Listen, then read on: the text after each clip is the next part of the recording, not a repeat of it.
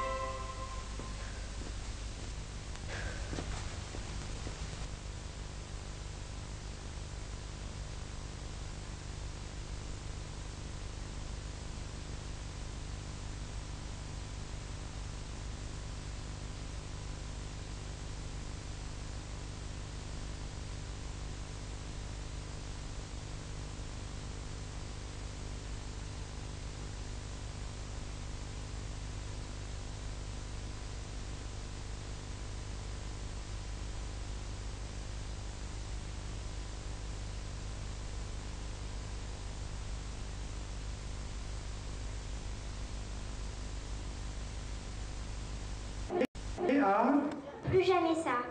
plus jamais ça. De l'école. Alors, plus jamais ça. Je prends les ponts parce que c'est l'école publique de Vic Soutil, donc ils sont venus de très très loin, on peut les applaudir, ils sont restés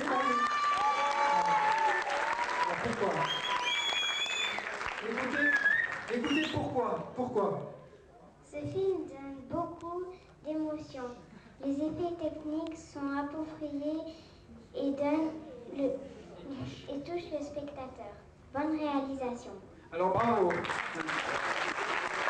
Le deuxième prix, non ah, Tu veux dire un petit mot Ben, on a beaucoup aimé parce qu'à la fin, il y avait des dessins, tandis que dans les autres films, euh, c'était que euh, filmé et des vraies personnes.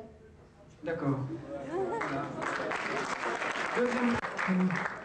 Alors c'est pareil pour l'instant Est-ce qu'il y a L'instituteur. ou l'institutrice? Monsieur Qui était composé de tout petits, des tout petits bouts de choux de, de CP et de CE1. Il y avait des lycéens, donc c'était c'était un jury euh, très différent dans les âges, euh, euh, dans les préoccupations. Et ce produit est arrivé le premier à l'unanimité, mais il a été très très disséqué, très longuement examiné par ce jury. Entre autres, les enfants se sont dit, euh, ce produit-là, c'est le produit du maître, euh, c'est le produit des enfants. Heureusement, avant, pendant la sélection, nous avions pu interroger l'équipe et nous avons eu l'explication de ce produit. Je pense que ça mérite de vous la redonner. C'est une classe unique euh, qui a travaillé pendant toute l'année sur un projet pédagogique autour d'Hiroshima parce que le maître s'était aperçu que ce- cet événement n'était connu par personne. Il y a eu tout un travail documentaire, un travail de recherche. Euh, Les enfants nous, ont expliqué comment ils avaient travaillé, ils ont regardé les documents, ils ont sélectionné les images qui leur convenaient sur un scénario, ils ont mis bout à bout euh, le scénario, ils ont vraiment fait un réel travail qui a duré toute une année et c'est ce qui a incité euh, les petits et les très grands à les encourager et à le- leur décerner ce premier prix. Voilà. On les félicite. Bravo. Merci.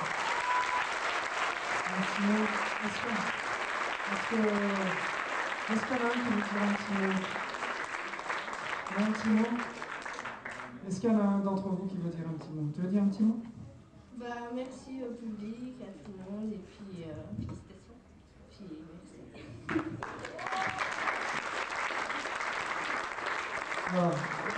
Merci beaucoup. Et alors vous recevrez le prix en matériel euh, euh, ultérieurement.